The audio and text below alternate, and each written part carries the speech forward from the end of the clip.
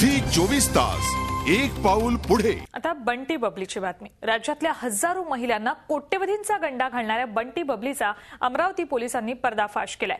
सरकारी नोकरीचं आमिष ते दाखवायचे हेमराज आणि रुपाली पाटोडेकर असं या बंटी बबलीचं नाव आहे.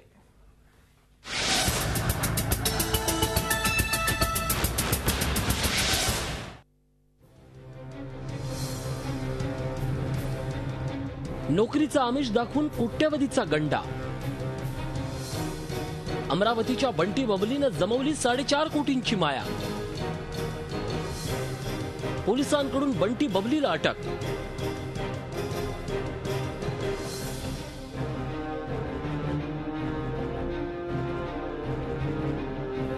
महिला व्यवसाय प्रशिक्षणाच्या नावाखाली हजारो बेरोजगार महिलांना फसवणाऱ्या पाटोदेकर दाम्पत्याला अमरावती पोलिसांनी अटक केली आहे. प्रशिक्षणाच्या नावाखाली या दाम्पत्यानं प्रमुख वर्तमानपत्रात जाहिराती देऊन जवळपास दोन हजार शेहेचाळीस जागांसाठी अर्ज मागवले होते.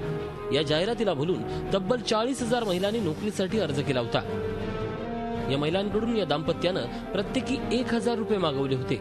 नियुक्तीपत्र आल्यानंतर काही महिलांना घोळ वाटल्यानं त्यांनी अमरावती पोलिसांकडे धाव घेतली आणि या दाम्पत्याची लबाडी उघड झाली.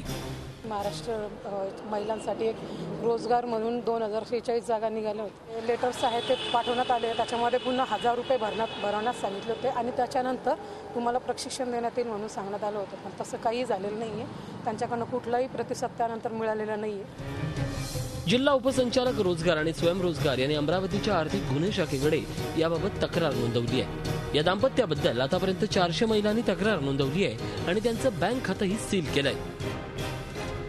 आम्ही सतत पाठपुरावा केला. आणि अठरा एक तेरा रोजी मान्य उच्च न्यायालयाने उच्च न्यायालयात माहिती सादर केली. या न्यायालयाने पोलिसांचे म्हणणे पूर्ण ऐकून घेतले आणि या आरोपितांचे अर्ज फेटाळण्यात आले. राज्यातल्या महत्त्वाच्या शहरांमध्ये या दाम्पत्यानं आपलं कार्यालय धाटलं होतं.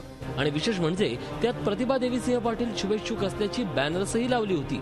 मात्र आता अनेक महिलांची फसवणूक झाल्याचा प्रकार पुढे आलाय. म्हणूनच असे अर्ज करताना जरा सावधान. झी चोवीस ताससाठी अमरावतीहून राजेश सोनोनेसह विशाल कवळे औरंगाबाद. झी चोवीस तास एक पाऊल पुढे.